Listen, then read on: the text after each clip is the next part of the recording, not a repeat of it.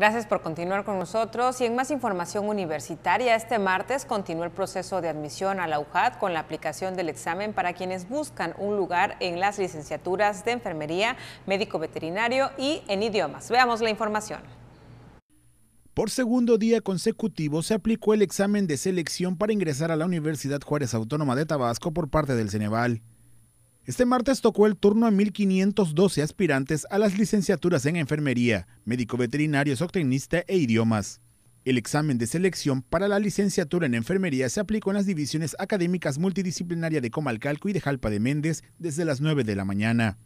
En tanto que en la división de Ciencias Sociales y Humanidades inició a las 8 de la mañana. El segundo turno fue a partir de las 3 de la tarde. Pues algo nervioso al principio, pero pues ya después se te va dando un poquito. Si te acuerdas y estudiaste bien. ¿Cuánto tiempo te preparaste para, esta, para este examen? como dos semanas. Estuve estudiando tres, cinco horas al día. Ya en esta última semana, pues ya estudiaba casi todo el día. Bueno, la licenciatura más que nada porque me gusta, me gustaría ayudar a la gente y la universidad porque me comentaron que es muy buena en cuestiones de que dan buena clase y son buenos los maestros que hay. ¿Cómo te sentiste en esta aplicación del examen? Un poco pues nervioso, pero al final sí, sí pude. Me sentí un poco más seguro ya a la hora de contestarlo. Para la licenciatura en médico veterinario zootecnista, la jornada inició a las 9 de la mañana en la División Académica de Ciencias Agropecuarias para quienes buscan obtener un espacio en la licenciatura en idiomas en el ciclo escolar septiembre 2021-febrero 2022, presentaron su examen de selección en la División Académica de Educación y Artes a partir de las 9 de la mañana.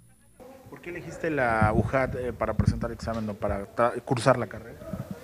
Porque es una universidad para mí de alto prestigio y que han salido muchos profesionistas eh, excelentes y pues primero Dios quisiera ser uno de ellos. Y siento que el, nivel académico para mí es excelente.